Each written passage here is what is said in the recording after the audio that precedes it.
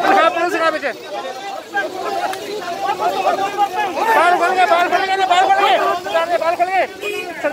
ਗਏ ਦੇ ਦੇ ਉਹ ਪਗੜੀ ਖੁੱਲ ਗਈ। ਲੈ ਛੋੜ ਪਗੜੀ ਪਗੜੀ ਖੁੱਲ ਗਈ। ਪਾਈ ਹੋਈ ਹੈ। ਕਾਂਗਰਸੀ ਵਰਕਰਾਂ ਦੇ ਵੱਲੋਂ ਸਿੱਧੇ ਤੌਰ ਤੇ ਲੜਾਈ ਕੀਤੀ ਗਈ ਹੈ। ਬਗੈਰ ਮਾਸਕ ਤੋਂ ਸੋਸ਼ਲ ਡਿਸਟੈਂਸਿੰਗ ਦੀਆਂ ਪਿਛੜੀਆਂ ਉਡਾਈਆਂ ਗਈਆਂ ਨੇ। ਇਹ ਤਸਵੀਰਾਂ ਦੇਖ ਸਕਦੇ ਹੋ ਬਾਹਰ ਦੀਆਂ। ਔਰ ਸਿੱਧੇ ਤੌਰ ਤੇ ਦੇਣ ਆਏ। ਉਹ ਜਿਹੜੇ ਕਾਂਗਰਸੀ ਵਰਕਰ ਆ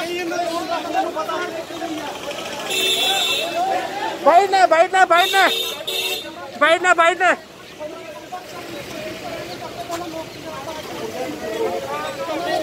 ਬਾਈਟ ਨਾ ਬਾਈਟ ਨਾ ਬਾਈਟ ਨਾ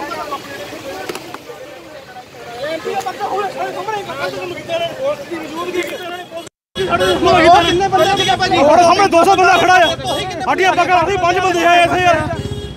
ਤੁਹਾਡੇ ਸਾਹਮਣੇ। ਪਗੜੀ ਦੀ ਬੇਇੱਜ਼ਤੀ ਕੀਤੀ ਹੈ ਮੇਰਾ ਪੱਗ ਲਾਈ ਮੇਰੀ ਪੱਗਾਂ ਲਾਈਆਂ ਨੇ ਸਾਰੀਆਂ ਇਹਨਾਂ ਨੇ। ਆਹ ਪੁਲਿਸ ਕੋਲੇ ਖੜੀ ਆ। ਆ ਪੁਲਿਸ ਵਾਲੇ ਖੜੇ ਕੋਲੇ ਖੜੀ ਆ। ਚੁੱਪ ਕਰੀ ਖੜੀ ਆ ਪੁਲਿਸ ਵਾਲੇ। ਕੋਲੇ ਖੜਾ। ਸੱਚੋ ਆ ਪੁਲਿਸ ਵਾਲੇ ਸੱਚੋ ਕੋਲੇ ਖੜਾ।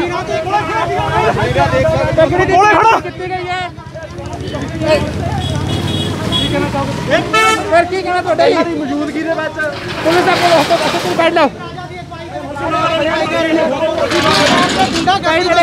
ਸਿੱਧੇ ਤੌਰ ਤੇ ਸਰ ਤੁਹਾਡਾ ਕੀ ਕਹਿਣਾ ਹੈ ਤੌਰ ਤੇ ਜਿਹੜੀ ਗੁੰਡਾ ਕਰਦੀ ਹੈ ਤਸਵੀਰਾਂ ਦੇਖ ਇਹ ਬਾਹਰ ਇੱਥੇ ਲੱਗਦਾ ਰਾਜਾ ਜੀ ਰਾਜਾ ਜੀ ਹੋਇਆ ਸ਼ਾਂਤ ਤੁਸੀਂ ਬੇਫਿਕਰ ਹੋ ਜਾਓ ਮੁੰਡੇ ਸਾਰੇ ਸ਼ਾਂਤ ਨੇ ਰਾਜਾ ਜੀ ਕੀ ਵਜ੍ਹਾ ਪੈ ਗਈ ਰਾਜਾ ਜੀ ਰਾਜਾ ਜੀ ਰਾਜਾ ਜੀ ਕੀ ਵਜ੍ਹਾ ਪੈ ਗਈ ਕੀ ਪ੍ਰੋਬਲਮ ਕੀ ਹੈ ਲੜਾਈ ਕਰਨ ਦੇ ਲਈ ਪ੍ਰੋਬਲਮ ਕੀ ਹੈ ਲੜਾਈ ਕਰਨ ਦੇ ਲਈ ਬੰਦੇ ਬਣਾਉਣੇ ਪਏ। ਇਹ ਕੋਈ ਡਰਾਮੇਬਾਜ਼ੀ ਇੱਥੇ ਕਰਨ ਆਏ ਆ। ਕੋਈ ਡਰਾਮੇਬਾਜ਼ੀ ਨਹੀਂ ਵੀਡੀਓ ਦੀ ਹਜ਼ੂਰੀ ਦੇ ਵਿੱਚ ਹੋਇਆ ਸਾਰਾ ਕੁਝ। ਆਰਾਮ ਦੇ ਨਾਲ ਗੱਲ ਕਰ ਰਹੇ ਸੀਗੇ ਤੁਹਾਡੇ ਬੰਦਿਆਂ ਨੇ ਉਹਨਾਂ ਦੇ ਨਾਲ ਪਤਾ ਨਹੀਂ ਕੀਤੀ ਮੈਂ ਤਾਂ ਹੁਣ ਗੱਡੀ 'ਚ ਉਤਰ ਗਿਆ ਵੀ ਹੋਇਆ ਤੇ ਹੋਇਆ ਤੁਸੀਂ ਬੰਦੇ ਕਿਉਂ ਬੁਲਾਏ ਇੱਥੇ? ਕਿਹੜੇ ਬੰਦੇ ਬੰਦੇ ਕਿਹੜੇ ਬੁਲਾਏ?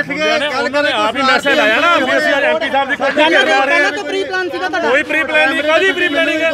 ਸਾਡੇ 200 ਬੰਦੇ ਨੇ ਕੋਈ ਸੱਟ ਮਾਰੀ ਹੋਵੇ ਕੁਝ ਕੀਤਾ ਹੋਵੇ ਫਿਰ ਤੁਸੀਂ ਗੱਲ ਕਰੋ। ਮੈਂ ਬਾਕੀ ਹਲੇ ਜਾਣਕਾਰੀ ਲਾਉਂਗੇ ਪੂਰੀ ਹੁਣ ਹੁਣੇ ਹੁਣੇ ਭਾਈ ਸਾਹਿਬ ਮੈਂ ਜਸਟ ਪਹੁੰਚਿਆ ਮੈਂ ਤੁਹਾਨੂੰ ਬੇਨਤੀ ਕਰ ਰਿਹਾ।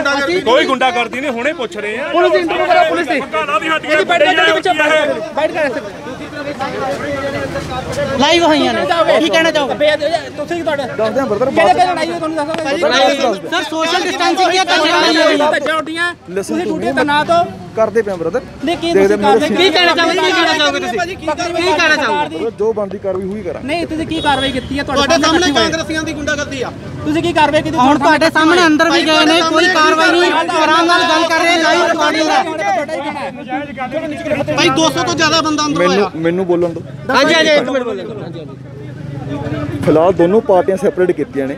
ਜੀ। ਸਰ ਤੁਹਾਡੇ ਸਾਹਮਣੇ ਬੇਦੀ ਹੈਲਪ ਪਰ ਸਰ ਇੰਨੇ ਬੰਦਿਆਂ ਨੂੰ ਅਲਾਉ ਹੀ ਨਹੀਂ ਹੈਗਾ। ਖੜੇ ਹੋਣ ਦਾ ਤੁਹਾਡੇ ਸਾਹਮਣੇ 200 ਤੋਂ ਉੱਤੇ ਬੰਦਾ ਜਿਹੜਾ ਐਮਪੀ ਰਵਨੀਤ ਬਿੱਟੂ ਦੇ ਦਫ਼ਤਰ ਦੇ ਅੰਦਰੋਂ ਬਾਹਰ ਨਿਕਲਦਾ ਹੈ ਔਰ ਕੁੱਟਮਾਰ ਕਰਕੇ ਨਿਕਲ ਜਾਂਦਾ ਪੁਲਿਸ ਦੇਖਦੀ ਰਹਿ ਜਾਂਦੀ। ਨਹੀਂ ਬ੍ਰਦਰ ਅਸੀਂ ਖੜੇ ਆ ਜਦੋਂ ਕਲੈਸ਼ ਹੁੰਦਾ ਅਸੀਂ ਵਿੱਚ ਆਏ ਆ ਸੈਪਰੇਟ ਕੀਤੇ ਆ ਜੋ ਵੀ ਅੱਗੇ ਸਰ ਤਸਵੀਰਾਂ ਇਹ ਬੋਲ ਰਹੇ ਠੀਕ ਹੈ ਤੁਸੀਂ ਖੜੇ ਅੱਛੀ ਗੱਲ ਹੈ ਤੁਸੀਂ ਅਲੱਗ ਵੀ ਕੀਤੇ ਲੇਕਿਨ ਉਸ ਤੋਂ ਪਹਿਲਾਂ ਇੰਨਾ ਬੰਦਾ ਕਿਵੇਂ ਖੜ ਸਕਦਾ ਹੈ? ਕਿਵੇਂ ਇਕੱਠਾ ਉਹ ਤੁਸੀਂ ਦੇਖ ਰਹੇ ਸੀ ਐਡਾ ਕੋਵਿਡ 19 ਬੰਦਾ ਕਿੱਦਾਂ ਤੁਹਾਡੀ ਮੌਜੂਦਗੀ ਚ ਅੰਦਰ ਗਿਆ? ਕਰੋਨਾ ਦਾ ਦੌਰ ਚੱਲਦਾ ਫਿਰ ਵੀ ਇੰਨੇ ਲੋਕੀ ਅੰਦਰ ਇਕੱਠੇ ਸੀ।